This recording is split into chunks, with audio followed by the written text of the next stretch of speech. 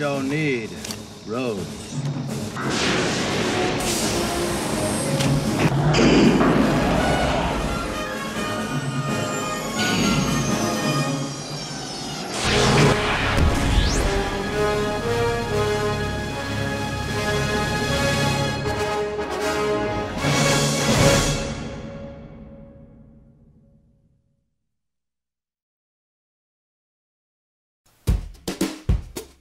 Hi, welcome back to the Custom Model Guy and the Aoshima Back to the Future uh, DeLorean build. Uh, this episode will be focusing on the chassis, the wheels, and the assembly. Uh, now, this kit actually has um, a sliding mechanism which allows the wheels to fold out for flight mode or um, uh, in the normal position for, for driving mode. Um, and um, this is done by a sliding uh, button which is underneath in that little gap that you can see in the picture just there. So I started off with some Zero Paints uh, matte black um, on the chassis and just gave it a good coating with that.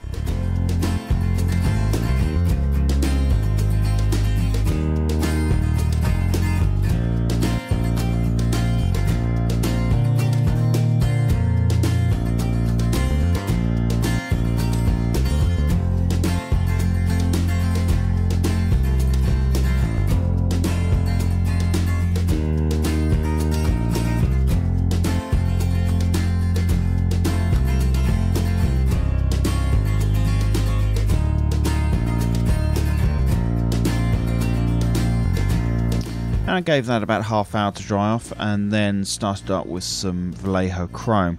Now I didn't spend quite as long on this as I normally would because basically it's going to be underneath and hardly ever seen. So um, I, there's a hell of a lot of detail to be painted on this and um, I just did it a bit rough and ready so um, um, it's not quite as um, clean line as uh, as I normally would, but um, it's acceptable for for where it's actually going to be. So, and I did go back over some of the uh, the worst mistakes um, with a little bit of flat black just to um, to correct those, but um, the little brush strokes I just left, I, I as much as I'm a perfectionist, um, I'm not that bothered.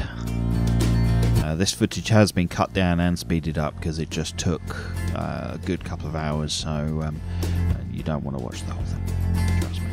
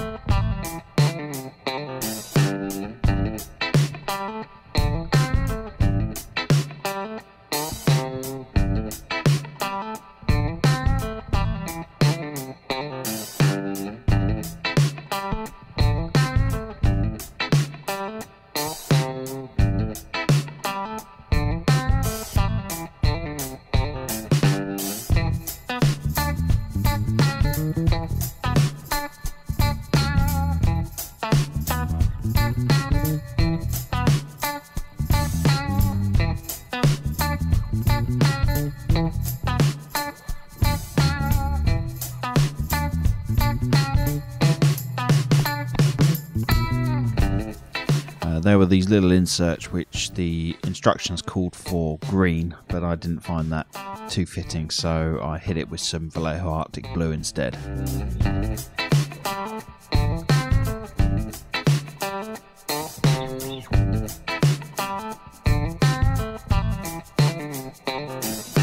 Okay, so with that all painted up and dried, it was time to move on to the actual assembly. Now, the first bit was the uh, the main bar, which links the front assembly to the rear assembly. Uh, this in the instructions actually said not to glue that down, but I ended up putting a little spot of glue on the pegs because um, it kept popping up, and I didn't want it popping up um, once the uh, the model was fully assembly assembled. Um, and it also required some uh, grease, which was supplied in the kit, to be applied to, applied to the, um, the, the surfaces which make contact. So um, I squeezed a little bit of that on, then just spread it out with a cocktail stick.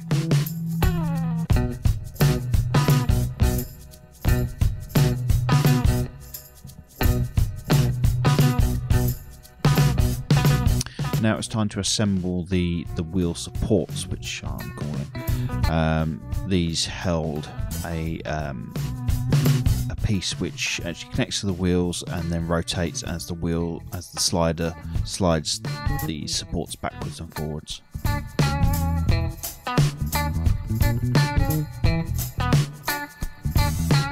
Again, I believe the instructions called for no glue on um, assembling the two halves of the supports, but um, they just fell apart, so I did put a spot of glue on there, but was careful not to get any glue where there is um, anything that needs to be um, needs to be free movement.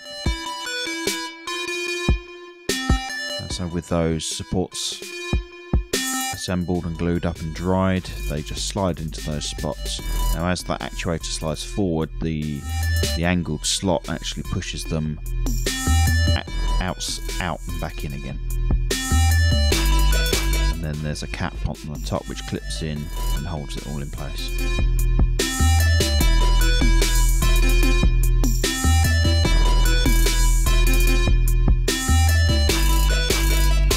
and then there's this little uh, actuator bar I call it um, which goes down and fits onto the swivel peg which fits onto the wheel and that actually swivels the tyre to a horizontal position and then back to a vertical. And then there were these pieces which fit on the inside of the rim, um, which I'm calling motivators. Um, and these were matte black. Um, they were just solid matte black, but they had these little raised dots on them, so I decided to hit those with some Vallejo chrome as well.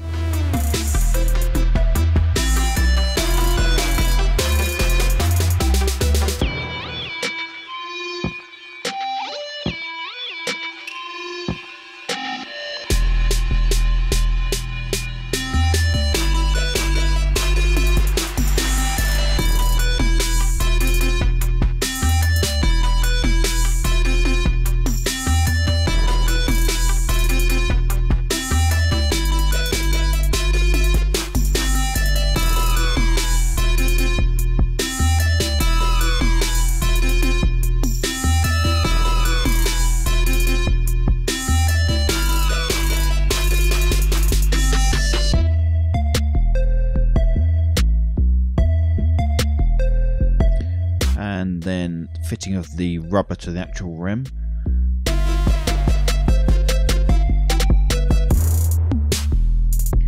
Now I found these uh, alloys to be very um, bright chrome um, so I ended up using some Humbrol uh, black enamel wash um, and um, just darken those down, which made the details of the uh, the rims pop out a little bit extra.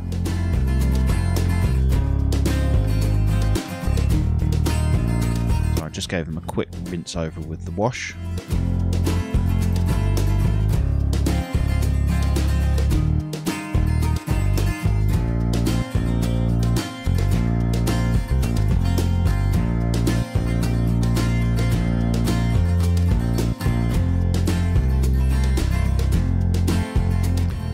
left them to dry and then used a cotton bud just to wipe off the excess and uh, as you can see it just darkened down that chrome a little bit and made the details stand out a little extra.